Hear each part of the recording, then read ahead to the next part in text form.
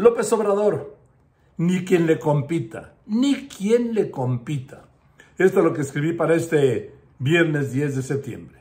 La oposición, arrasada por López Obrador en 2018, dijo que tendría tiempo en este gobierno de convertirse en la gran opción presidencial para 2024. Y sí, la oposición ha tenido tiempo, más de tres años, pero no ha tenido a quién ni con quién. El presidente López Obrador, a pesar de sus decisiones de gobierno, quedarían para construir un oponente competitivo, ¿sí? Mantiene en el final de este su tercer año de gobierno una aceptación superior al 60%. Su gobierno no, él sí. Y si uno ve al PAN, pues el PAN sigue preso de los intereses y contradicciones de quienes lo controlan o lo siguen controlando.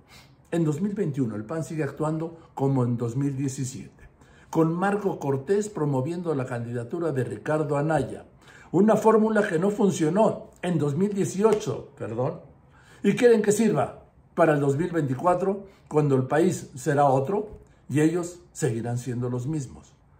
Los panistas se mantienen rehenes de esas limitaciones y ambiciones personales. También se mantienen rehenes de sus pendejadas, ¿sí? Como la del coordinador Julián Rentería, que organizó un evento oficial en el Senado de la República para firmar un documento con el dirigente del partido más retrógrada y fascista de Europa, Vox, para proteger, para contener en México al comunismo. Esto no lo dicen en 2021. Acuerdo del que luego los panistas no supieron cómo salirse, en lo que siguen atrapados por más falsos deslindes que intenten. Y el PRI, pues el PRI sigue en su edad de hielo, ¿sí? Con un presidente de partido, Alejandro Moreno, que se ocupó de colocar amigos y hasta matrimonios en la lista de sus diputados para un proyecto personal. Y hoy, el PRI, a falta de candidato, como en el PAN, no tiene ni partido ni bases. Los demás no existen, sí son franquicias rémoras que sobreviven por sus alianzas, el PRD, el Verde, el PT, y Movimiento Ciudadano, que es un intento pues que nunca, nunca se ha logrado.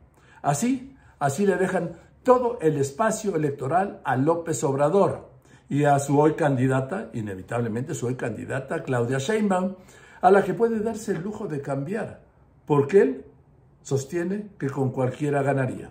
Pero su prioridad es quién le va a garantizar la, la consolidación de su proyecto. ¿Quién le va a garantizar la consolidación de su proyecto? Y eso solo se lo puede asegurar ella, Sheinbaum, que sería así la peor candidata de los tres, aunque López Obrador sería, como ya es, su jefe de campaña y que considera que con eso tiene.